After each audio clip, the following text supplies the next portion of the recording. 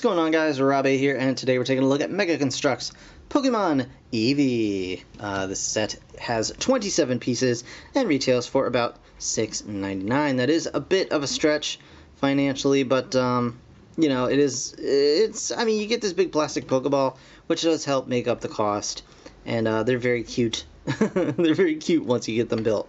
So I feel like it's kind of worth it for that. Uh, Eevee looks like a little bit, a little bit of a weird one. Uh, I want to see it in person before I make my final judgment. Uh, a little bit overly blocky as compared to some of the others, but um, again, we'll see what it looks like in hand once all is said and done. There's an image on the side here. You got Mega Construx logo. Pokemon logo, bunch of uh, legal information and uh, you know addresses and things like that on the back here. Small parts, don't feed it to your kids. Recycle stuff. It's good for the environment. And uh, yeah, other than that, there's just uh, all the parts are inside this nice plastic Pokeball here. I picked this up at my local Target store, and hopefully you can find it at yours as well. So, without further ado, I'm going to go ahead and get this guy put together, and we will check him out right now. Alright guys, so here we have Eevee all ready to go, and let me uh, pop them off the Pokeball here, and just show this off real quick if you're not familiar with these little Pokeballs. You got some studs on the top, you got some stud grippers on the bottom, you've got the ability to open the Pokeball, and inside are the parts when you first open it, and of course the instructions as well. You've got some studs on the inside bottom here. You've got nothing on the inside top, but you got some holes, so you can do some stuff. And one little slot here. I don't know what you would do with that, but whatever. It don't matter. It don't matter. I guess you could put some, I don't know, something. You could do something with that if you were enterprising enough. Uh, so you do have the Pokeball, and of course you can fit your little Eevee inside the Pokeball. There you go. Carry them around like that and Bob's your uncle. Pretty good job. And here is Eevee, his or herself. And uh, I gotta admit, this is my least favorite out of the first wave of these guys. And it's a shame, because I like Eevee. Uh, Eevee's a real cool Pokemon, but um, I just this does not work. This design, just top to bottom, just doesn't work for me. I mean, it's cute. It's you know, it's got all the, the things that an Eevee needs. It's got a little collar. It's got a little tuft of fur in the front there. It's got a little poofy tail.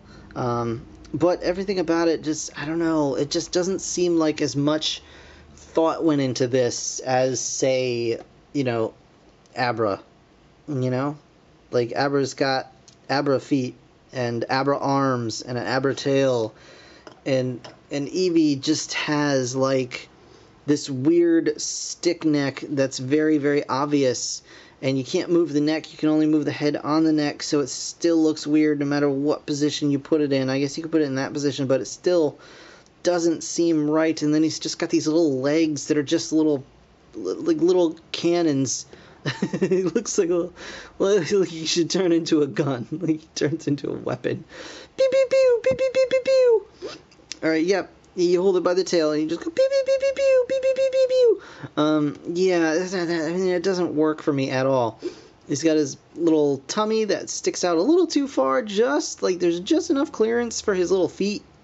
Um, and I don't know, just it's not doing anything for me, and I'm, I'm super bummed about that.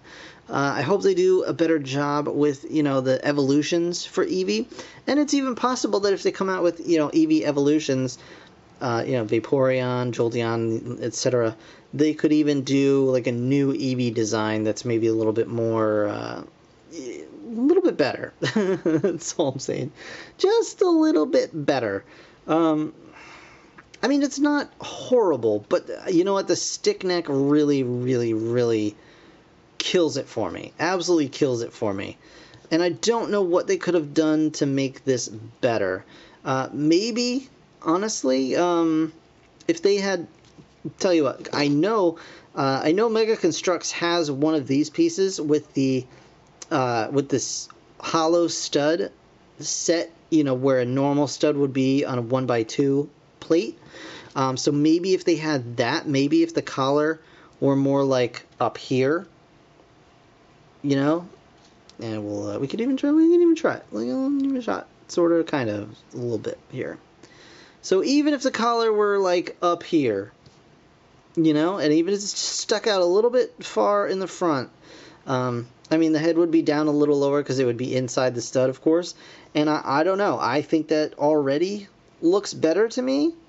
And maybe if they had extended the legs just a little bit, just a little bit past the belly more, uh, I think it would have been, you know, happier with it. But, you know, it's their first run out with these Pokemon sets.